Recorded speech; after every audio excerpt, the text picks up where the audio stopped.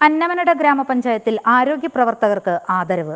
Covid പ്രതിരോധ പ്രവർത്തനങ്ങളിൽ പങ്കെടുത്ത ഗ്രാമപഞ്ചായത്ത് പരിധിയിലെ ആയുർവേദം ഹോമിയോ അലോപ്പതി രംഗത്തുള്ള ആരോഗ്യ പ്രവർത്തകർക്കും ആശാ വർക്കർമാർക്കും ആണ് ഗ്രാമപഞ്ചായത്തിന്റെ ആദരം സമർപ്പിച്ചത്. സ്വാതന്ത്ര്യ ദിനത്തിനോട് അനുബന്ധിച്ച് നടന്ന ചടങ്ങിൽ പ്രസിഡന്റ് ടെസി ടൈറ്റസ് അനുമോദന പത്രം നൽകി ആദരവ് പ്രകടിപ്പിച്ചു.